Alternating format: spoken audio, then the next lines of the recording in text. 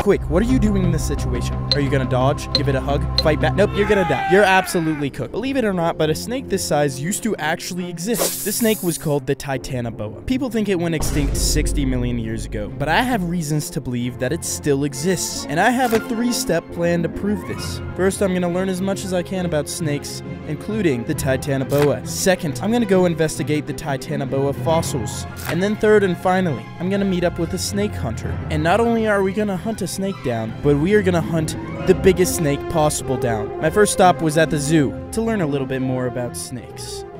I feel like the first step we gotta we gotta figure out how snakes act, what they do, where they go, what their habits are, mm-hmm. and then we can find we can use that information we gather to find the Titanoboa.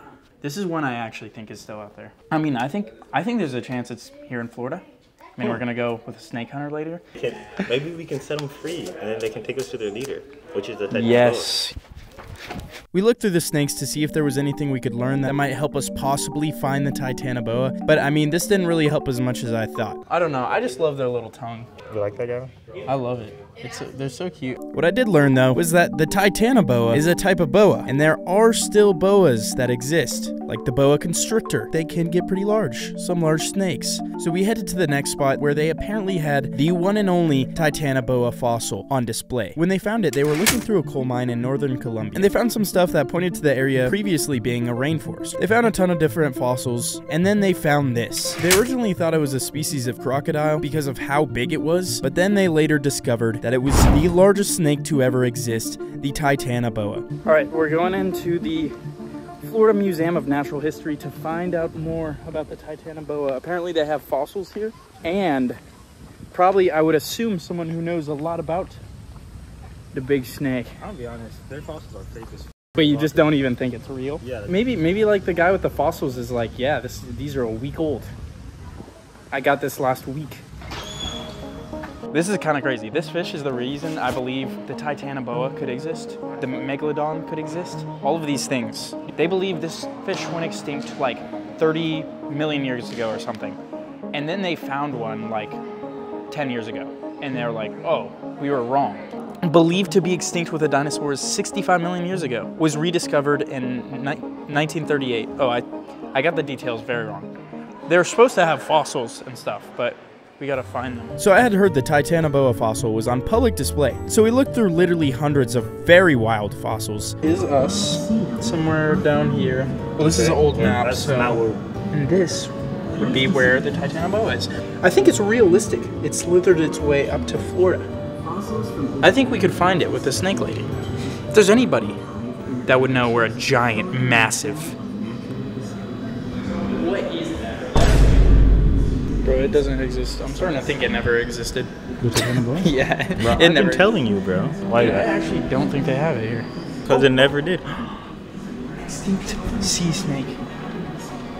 Ahoy, snakey. Wait, where's where's its name? That's the name. So what is this? The This is Titanoboa? no, it's not even the Titanoboa. It's just an ancient sea snake. Huh. Oh. Actually, that's way too big, I think. We could not find the Titanoboa fossil anywhere. But then we got extremely lucky because someone that worked there passed by us. You know what the Titanoboa is? Do you guys have any fossils of it or no? No, unfortunately, that is not here on public display. They're uh, kept in the uh, collections building, which is not here, unfortunately. Oh. It literally just disappeared in 2018. I don't know where the fossil has been. It wasn't in the collections like the guy said. It wasn't even in another museum traveling. So I contacted some of the scientists that helped discover the Titanoboa and a ton of other experts. And now we just had to wait. And in the meantime, we went to meet up with the python huntress. Which by the way, pythons are the longest snake species living today. Even recently, a world record length one was found. All right, boys and girls, we're now where it gets real. We're going to meet up with a literal snake hunter, a python hunter. She sees hundreds, if not thousands, of snakes. So maybe she has seen the snake, a snake the size of the Titanoboa. And maybe she would know. I feel like if anybody, there was anybody to ask, be a snake hunter. Amy Siewe is known as the Python Huntress.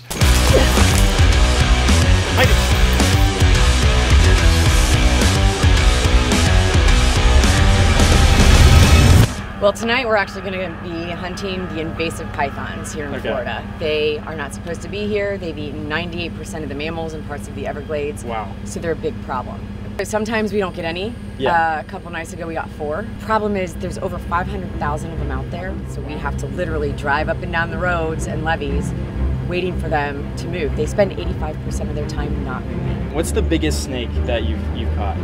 17.3, 110 pounds. Wow. Yep. That is that is scarily large. We're gonna be up on the snake deck here, looking over the sides, and as soon as somebody sees a python, we're gonna yell python, jump out of the truck.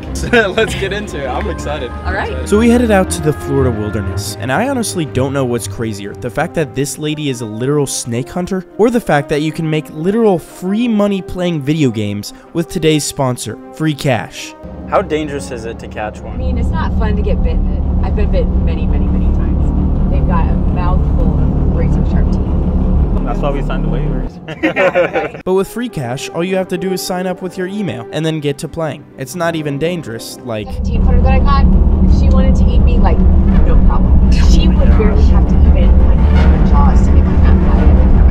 It might seem a little bit sus, but it does just give you games or surveys that you can choose from to get paid. But instead, I was just getting a lot more scared for what we were about to do. I could have made this amount of money in the exact amount of time we spent in the car. By the way, this is what I actually made using the app for an hour. If you have a lot of time on your hands or, or ever just bored, just scan this QR code or click the link in my bio to sign up and start getting paid to play video games. I'm like the opposite of Indiana Jones. He's afraid of snakes. I'm seeking them. I'm going to hunt them. Are you scared of snakes or not? I mean, I'm sure I would be scared right in front of one. One hand on the rail. Okay, we're good. This is this is so cool.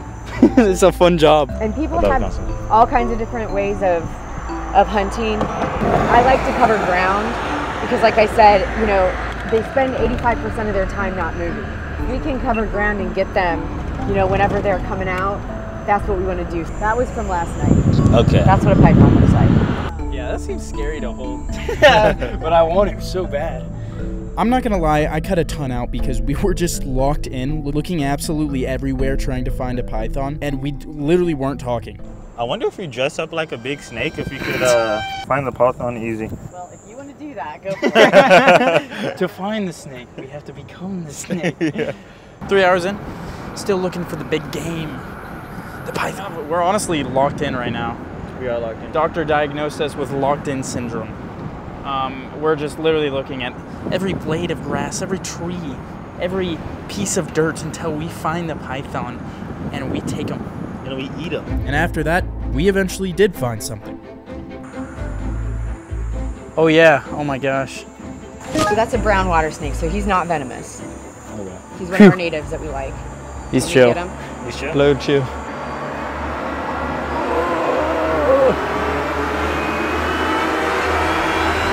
Yeah.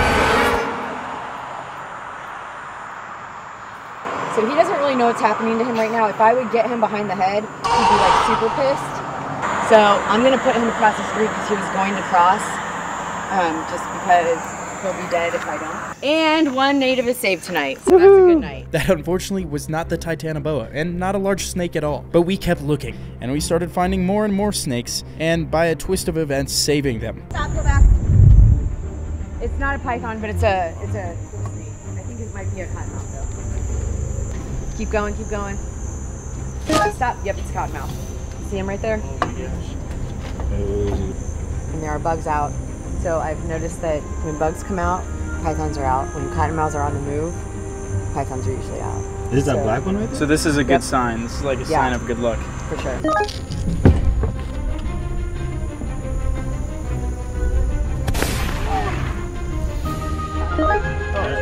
How did we miss it? So okay, so that's why they call him a cottonmouth. Because that's his defense mechanism. We went uh, from hunting them down to being their friends. Wholesome moment. At this point, we had been searching for hours. It was almost 1 a.m. I just wanted to find a huge snake more than anything, but it was so late that I was getting very delusional. There is one thing I can do for the snakes. You open your eyes wider, you can see more. Snake with a lisp. This looks stupid. Somewhere in an alternate reality, I think this exact situation's happening, except we're all snakes.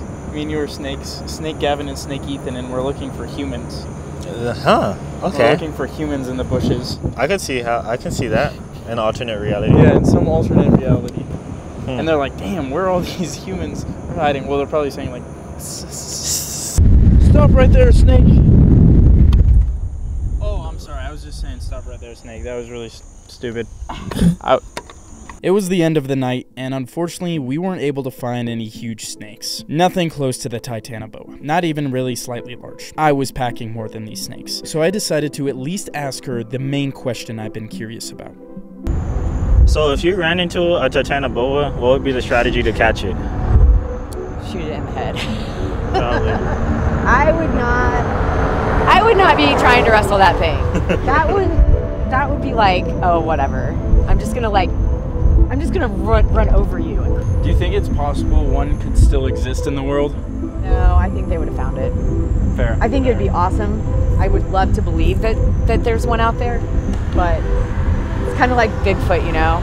Bigfoot of snakes. I know everybody has their like thing about Bigfoot, but I unless I see a real one, I still feel like I know that they're you know discovering new species all the time.